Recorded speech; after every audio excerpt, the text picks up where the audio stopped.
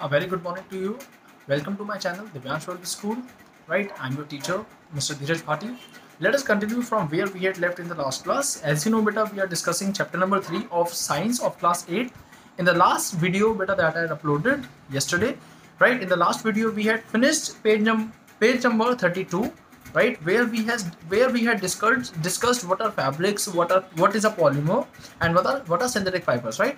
And in the coming video right uh, in the today's video we are going to discuss what are the types of synthetic fibers that we have right? But before going further Vita, let us uh, let me let me tell you some questions right? So for first question of the chapter what are fabrics? Fabrics kya hote hain so page number 32 top paragraph second line fabrics are made from fibres obtain from natural और artificial sources right ये हो गया बेटा हमारा answer number one इसको mark कर लीजिए, ये हमारा आंसर नंबर वन हो गया.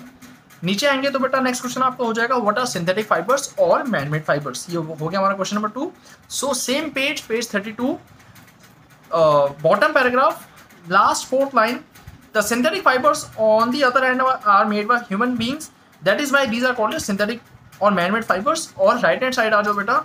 A synthetic fiber is also a chain of small units joined together. Done. Question number three इसमें बेटा जो हमारा क्वेश्चन थ्री बनेगा, इस चैप्टर का वो होगा कि व्हाट आर पॉलीमर्स पॉलीमर्स क्या होते हैं? जैसे मैंने आपको कल बताया था बेटा पॉलीमर्स बेसिकली एक ग्रीक वर्ड होता है जिसमें दो वर्ड्स होते हैं पॉली और मर पॉली मतलब होता है बेटा poly means many and mer means a part और अ यूनिट राइट तो पॉलीमर का हो गया अ पार्ट और अ यूनिट डन। अब आगे बढ़ते हैं बेटा पॉलीमर का मैं जैसे आपको इसका आंसर मार्क करवा देता हूँ page number thirty two bottom paragraph right hand side fourth line the small units many search को कट कर दीजिए। The small units combined to form a large single unit is called a polymer the word polymer comes from two Greek word जैसे मैंने आपको बताया बेटा कि जो पॉलीमर होता है, दो ग्रीक वर्ड से बनता है। Number one is poly poly means का पॉली का मतलब होता है many and me and mer means a part और unit so polymer is a part of many repeating units right ये हो गया हमारा page number thirty two this hand we are done coming on to the other hand वहाँ से continue करते हैं types of synthetic fibre जहाँ से हमने कल इसको छोड़ा था। ओके okay, रीड करते हैं। रेन रेन क्या होता है? You have read in class seven that silk fibre obtain from silk worm was discovered in China हमने बेटा सेवन क्लास में ऑलरेडी पढ़ चुके थे हम कि जो सिल्क फाइबर होता है बेटा वो हमें सिल्क वॉर्म से ऑप्टेन होता है जो कि सबसे पहले इस चीज़ को डिस्कवर चाइना ने करा था। And it was kept as a closely guarded secret for a long time और ये बेटा उन्होंने बहुत लंबे समय तक इसको एक सीक्रेट भाई राज बना के रखा था। Fabric obtain from silk fibre was very costly but its beautiful beautiful fascinated everyone और ये जो बेटा जो कि सिल्क फाइबर से जो हमारे पास सिल्क से जो हमारे फाइबर रेडी होता था, जो मटेरियल रेडी होता था, वो एक्चुअली बहुत ज़्यादा कॉस्टली होता था। बट उसमें वो एक्चुअली उसका जो टेक्सचर था मतलब उसका जो डिज़ाइन था और उस और वो उसका जो टेक्सचर था, जो डिज़ाइन था, वो इतना अट्रैक्टिव था कि लोग उसको हैवी कॉस्ट पे भी, भारी प्राइस पे भी उसको परचेज करते थे। Attempt were made to make silk artificially और बेटा, बहुत सारी कंट्रीज़ ने अटेम्प्ट ये करा कि वो सिल्क को कैसे करके आर्टिफिशियली बना पाए।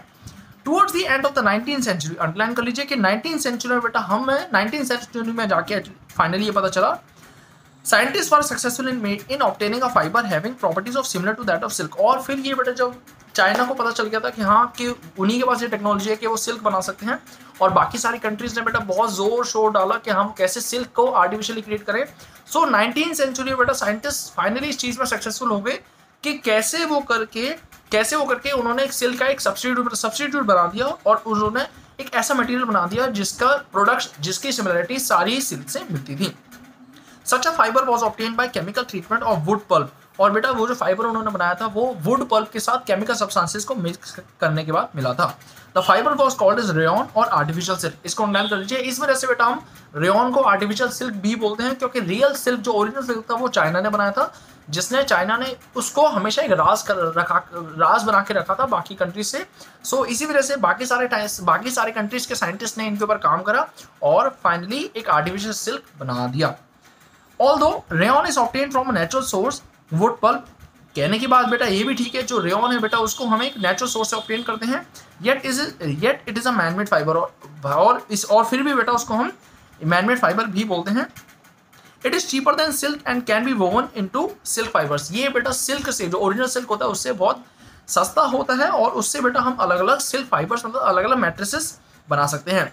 It can also be dyed in a wide variety of colours right dyed को अंडरलाइन कर डाइट मतलब होता है बेटा टू चेंज द कलर कि मतलब इस जो हमारा आर्टिफिशियल सिल्क होता है, उसके हम उसका हम कलर्स भी चेंज कर सकते हैं और उसको अलग अलग डिफरेंट डिफरेंट कलर्स भी दे सकते हैं।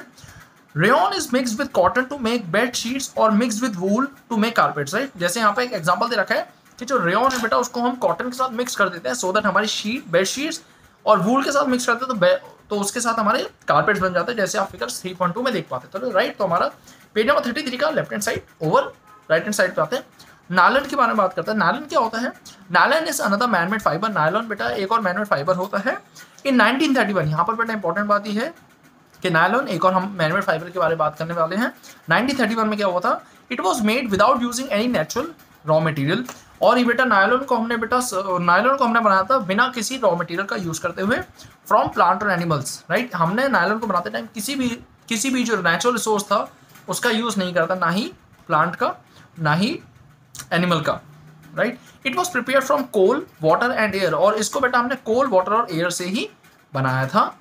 It was the first successful it was the first fully synthetic fibre और इसको अंडरलाइन कर लीजिए कि ये जो नायलन था वो सबसे पहला सबसे पहला सिंथेटिक फाइबर था। फ़र्स्ट सक्सेसफुली सिंथेटिक फाइबर था nylon nylon fibre was strong elastic and light. Nylon fibre जो बेटा जनरली बेटा स्ट्रॉन्ग होते हैं, इलास्टिक होते हैं और लाइट भी होते हैं। स्ट्रॉन्ग राइट स्ट्रॉन्ग मतलब मज़बूत इलास्टिक मतलब खींचे जाने वाले लाइट मतलब हल्के होते हैं।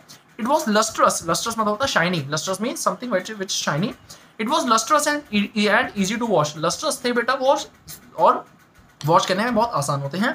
So it become very popular for making cloth और इसी वजह से बेटा क्लोथ को कपड़ों को बनाते टाइम हमने नायलन का बहुत इस्तेमाल करा। We use many articles made from nylon such as socks ropes tents, toothbrush, car seat belt sleeping bags curtains etcetera और ऐसे बेटा हमें बता रहा है कि हम नेचुरल अपनी जो हम रियल लाइफ जी रहे हैं राइट जो हम अपनी common day to day activities में हम नायलन का कितना यूज़ करते हैं? नायलन बेटा हम नायलन के हम सॉक्स पहनते हैं रोप्स रस्सी बनती है टेंट्स बनते हैं टूथब्रशेस बनते हैं कार सीट बेल्ट होती हैं, और स्लीपिंग बैग्स और कर्टन्स भी बनाते हैं। और बेटा एक और इंपॉर्टेंट बात जानने वाली ये है कि बेटा, इन नायलॉन से ये एक्चुअली में इतनी पावर होती है, इतनी शक्ति होती है कि इससे इससे हम बेटा अपने रोप्स जो हम बेटा माउंटेन्स पे चढ़ने वाली रस्सी होती है, वो मज़बूत होती हैं, वो भी नायलॉन से ही बनाई जाती हैं। राइट जल्दी से लास्ट पैराग्राफ इसको फिनिश कर देते हैं। जस्ट अ सेकंड ओके इसको जल्दी से फिनिश कर देते हैं बेटा। यहाँ पर हमारे ब्लू बॉक्स में दे रखा है। इस nylon fibre really so strong that we can make nylon nylon parachutes and ropes और रोप्स फॉर रॉक क्लाइंबिंग की क्या नायलॉन हमसे सवाल करा जा रहा है कि क्या नायलॉन फाइबर एक्चुअली में इतना स्ट्रॉन्ग होता है कि जिससे हम पैराशूट्स और और क्लाइंबिंग और जो माउंटेन्स होते हैं, उस पर चढ़ने वाली रस्सियाँ भी बना सकते हैं तो आंसर हो जाएगा yes these are two these are actually so strong right coming to page number thirty four nylon is also use for making parachutes and ropes for rock climbing right के नायलॉन को बेटा हम parachutes और rock climbing की जो ropes होती हैं, वहाँ पर उसको बनाने में भी हेल्प करते हैं। राइट सो बेटा, हम एक्टिविटी थ्री पॉइंट वन पे स्टार्ट डाल देते हैं। We will continue with we will continue with this topic in the next video I hope आपको आज की वीडियो में कोई प्रॉब्लम नहीं होगी। अगर इन केस बेटा you feel any any doubt any problem और any question you can feel free to call me and clear your doubts thank you so much take care be happy be safe